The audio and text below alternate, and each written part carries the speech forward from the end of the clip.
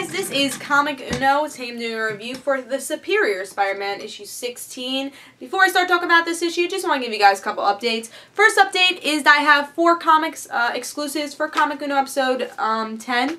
Um, and that is a show where I review all the comics I read this week in one show. And that is Venom, issue 39. This is for Dark Avenger Inc.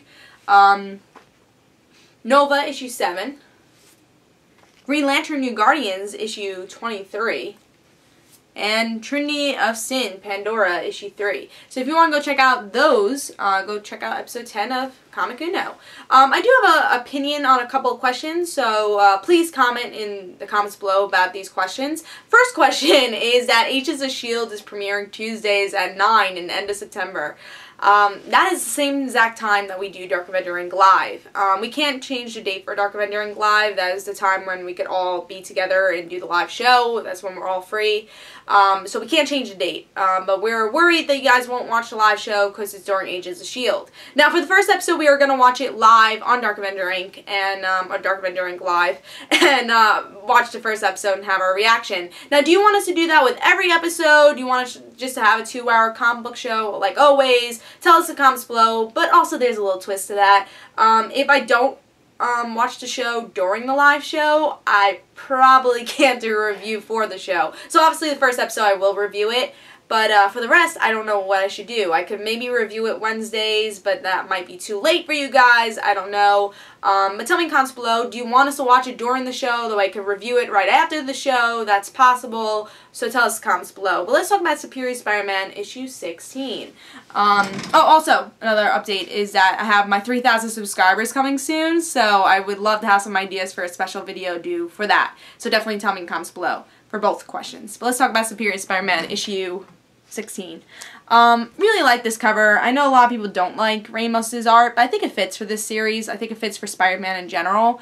Um, it was better than, not Stegman, but there's another artist on this series. I don't know his name, but I think it's better than that art um, because that art looks a little bit more bulkier for Spider-Man. I don't think that really fits. I kind of like the abstract art for Ramos.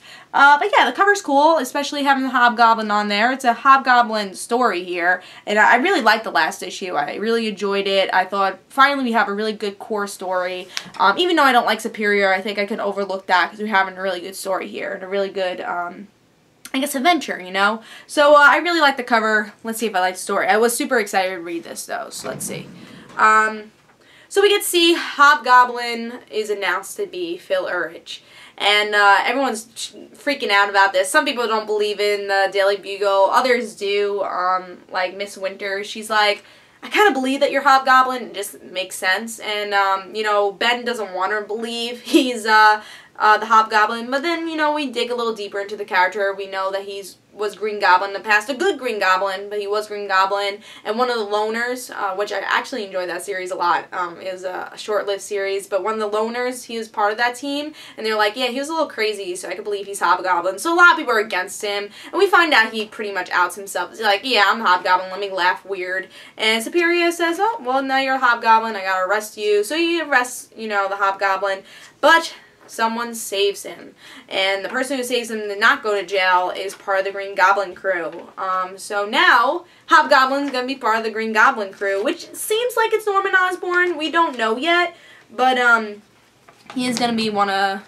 He's still a goblin, but he's not the Hobgoblin anymore. He's under, I guess, oath with um, the original Green Goblin? I don't know. We don't know if it's Norman or not, so can't say it's the original Green Goblin yet.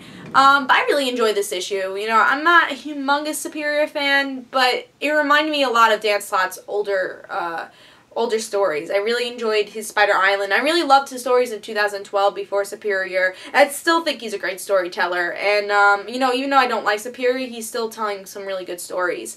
Um, and I think that's proven with this story arc. I think it, it was written well. It was um, it was produced well, and uh, you know it was interesting. Every step of the way, you're like, oh, you know, is he gonna reveal he's Hobgoblin? You know, Superior could do this. Really, like Superior would be the only one that could do this. But is this a good thing? You know, will this bite him on the ass? and you know, maybe Peter Peter's identity will be revealed one day. And then it's not also making the public question, um, is it good that superheroes have secret identities? And that's going all the way back to Civil War, and they even mention that in this issue. So I'm, I like that they referenced that.